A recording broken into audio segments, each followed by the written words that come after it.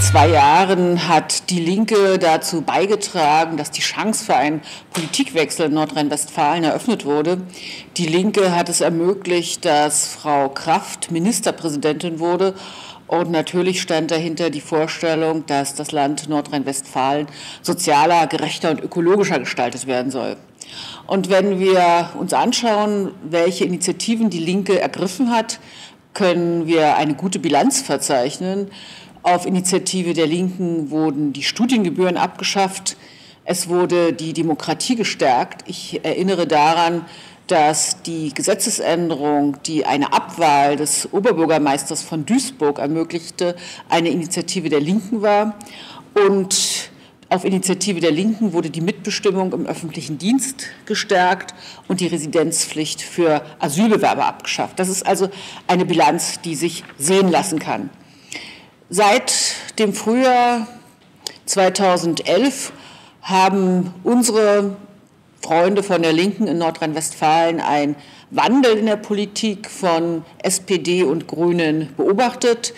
Die SPD und die Grünen haben sich verstärkt versucht, mit der FDP zu verbünden. Damit sind sie nun, wie der heutige Tag gezeigt hat, endgültig gescheitert. Auf die FDP kann sich kein seriöser Politiker verlassen. Und ich verstehe auch gar nicht, wie man sich auf eine Partei stützen kann, die in Auflösung begriffen ist.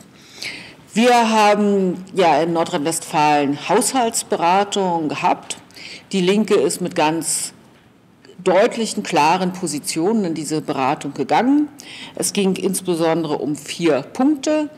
Die Linke Nordrhein-Westfalen hat sich eingesetzt für die Einführung eines landesweiten Sozialtickets, für handlungsfähige Kommunen, für preiswerte Wohnungen und für mehr Kinderbetreuungsplätze. Ich glaube, das sind Positionen, die gut für das Land sind. Und ich möchte auch betonen, dass die Linke sehr kompromissbereit und sehr verhandlungsbereit in diese Gespräche gegangen ist.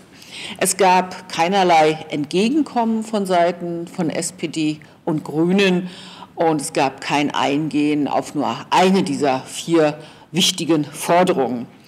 Heute in der Plenarsitzung hat der Fraktionsvorsitzende der Linken, Wolfgang Zimmermann, noch einmal das Angebot zur Nachverhandlung erneuert. Auch dieses Angebot wurde ausgeschlagen. Nun wird aller Voraussicht nach der Landtag in Nordrhein-Westfalen am Nachmittag die Auflösung beschließen. Und die Linke zieht mit klaren Zielen in den Wahlkampf. Ein soziales Land wird es nur mit der Linken geben. Unsere Wahlkampfziele sind ganz eindeutig auf die soziale Gerechtigkeit bezogen. Und wir sind die einzige Partei, die Schulden nicht durch Sozialabbau, sondern durch Einnahmeerhöhung abbauen will. Wir sind die Partei, die die Kosten der Finanzkrise nicht auf den Rücken der Bürgerinnen und Bürger abwälzen will.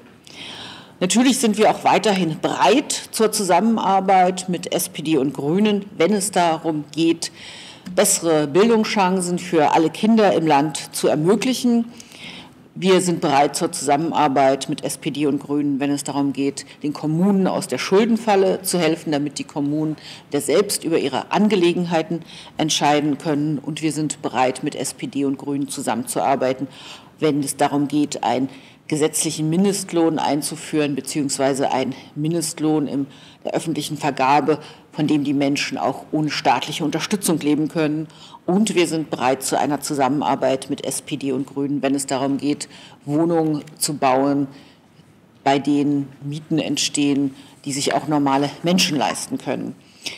Zusammenfassend, die Linke hatte vor zwei Jahren einen Politikwechsel in Nordrhein-Westfalen ermöglicht. Wir bedauern sehr, dass diese Chance verspielt wurde. Zwei Jahre sind eine kurze Zeit. Die Linke hat mit ihren Initiativen eine gute Bilanz aufzuweisen. Und ich hoffe, dass die Wählerinnen und Wähler diese Bilanz genau beachten werden und dafür sorgen, dass eine starke Linke in den nächsten Landtag einzieht. Denn ein soziales Korrektiv wird in Nordrhein-Westfalen dringend gebraucht. Frau Lütsch, starke Linke, äh, daran sieht es ja im nicht aus. Umfragen sagen, wahrscheinlich sind Sie gar nicht im Landtag drin. Die Landeszeitung wäre auf dem politischen Selbstmord. Was sagen Sie zu den Motiven, warum also die Linke ist in, den, in der neuesten Umfrage im Landtag. Wir werden einen engagierten Landtag, äh, Wahlkampf führen und ein engagierter Wahlkampf führt natürlich zu guten Wahlergebnissen. Was heißt das denn für die Linkspartei im Bund, gerade wenn das Ergebnis doch einiges schlechter möglicherweise sein wird in Nordrhein-Westfalen als vor zwei Jahren? Also wir werden ja erst am 6. oder am 13. Mai die Wahl haben. Wir werden dann für ein gutes Wahlergebnis streiten und hoffentlich auch ein gutes Wahlergebnis einfahren. Und natürlich ist Nordrhein-Westfalen als bevölkerungsreichstes Bundesland besonders wichtig für die Bundesrepublik. Und darum werden wir auch mit der Kraft aller Landesverbände unsere Parteifreunde in Nordrhein-Westfalen unterstützen.